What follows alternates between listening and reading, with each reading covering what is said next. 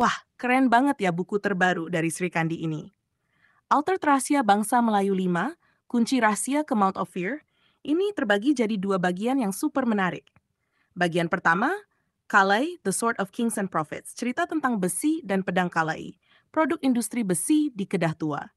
Kalau lo sering baca tentang penemuan-penemuan industri besi di Sungai Batu, pasti lo tahu betapa pentingnya ini. Lo bayangin, ada sisa-sisa relau, peniup relau, tapi produknya nggak ada. Aneh kan? Nah, di sini Sri Kandi jelasin produk itu yaitu pedang Kalai. Bagian kedua, The Secret Key to Mount Ophir, cerita tentang kekayaan, harta benda, dan jongkong emas. Ini tentang dana yang disembunyikan dan diselewengkan. Jadi ada kisah-kisah tentang kekayaan yang nggak benar-benar terungkap ke publik sebelumnya. Yang menarik lagi, Sri Kandi tambahin bonus dua bahasan, The Kingsman dan Dana Raja-Raja Melayu. Dia ngasih versi sendiri tentang dana ini, dengan bukti dari makalah-makalah akademik, dokumen dari Colonial Office, serta Hansard Parliament. Jadi ini bukan teori konspirasi atau cerita penglipur lara biasa. Ada juga studi kasus tentang tiga kasus menggemparkan di tanah air kita soal dana yang sebenarnya buat anak bangsa, tapi gagal. Selain itu, buku Alter Trasia Bangsa Melayu 5, Kunci Rahasia ke Mount of Fear, ini juga memberikan kita perspektif baru tentang sejarah dan warisan budaya bangsa Melayu. Sri Kandi selalu punya cara unik untuk menggabungkan fakta sejarah dengan narasi yang mengalir, membuat pembaca betah dan ter terus membaca sampai akhir. Bagian tentang pedang kalai misalnya, selain mengulas tentang teknologi besi, juga mengangkat cerita-cerita heroik dan bagaimana pedang ini menjadi simbol kekuatan dan kebijaksanaan raja-raja Melayu. Bisa bayangin betapa pentingnya pedang ini dalam konteks sejarah dan kebudayaan kita. Sementara itu, di bagian kedua tentang kekayaan dan jongkong emas, Sri Kandi mengajak kita menyelami kisah-kisah yang mungkin jarang terungkap ke publik dari cara penyimpanan emas hingga konspirasi di balik penyelewengan dana, semuanya disajikan dengan detail yang memikat. Ini seperti membaca novel petualangan, tapi dengan latar belakang sejarah yang nyata. Bonus, The Kingsman, dan Dana Raja-Raja Melayu memberikan sudut pandang baru tentang bagaimana dana kerajaan dikelola dan diperbutkan. Dengan bukti-bukti yang kuat, Sri Kandi berhasil mengurai benang kusut sejarah yang sering kali ditutupi oleh kisah-kisah mitos. Buat lo yang mungkin masih ragu, ingat bahwa buku ini adalah edisi terbatas.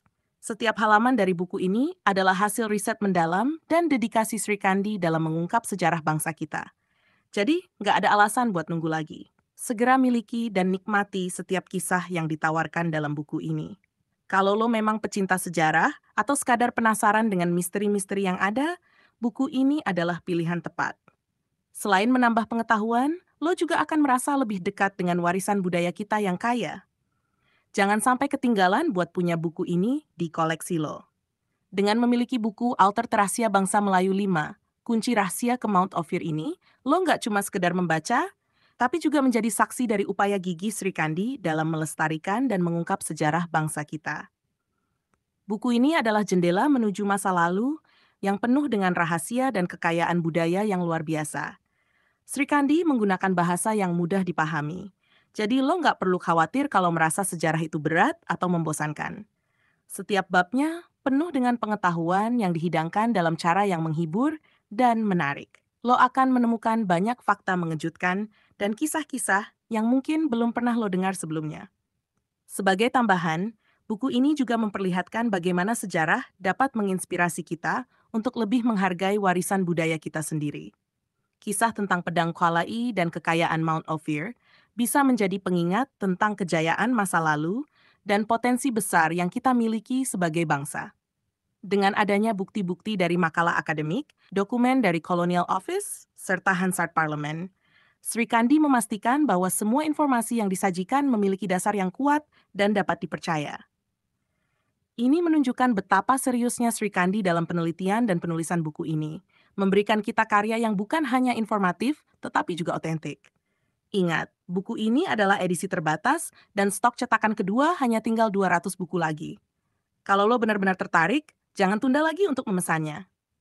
Ini adalah kesempatan langka untuk memiliki karya yang sangat berharga ini. Jadi, buat lo yang mencintai sejarah, budaya, dan misteri, atau yang sekedar ingin tahu lebih banyak tentang warisan bangsa kita, buku ini wajib ada di rak buku lo. Dengan memiliki buku ini, lo juga ikut berkontribusi dalam menjaga dan melestarikan sejarah kita. Ayo jangan sampai ketinggalan. Ambil kesempatan ini untuk menjelajahi lebih dalam rahasia bangsa Melayu bersama Sri Kandi.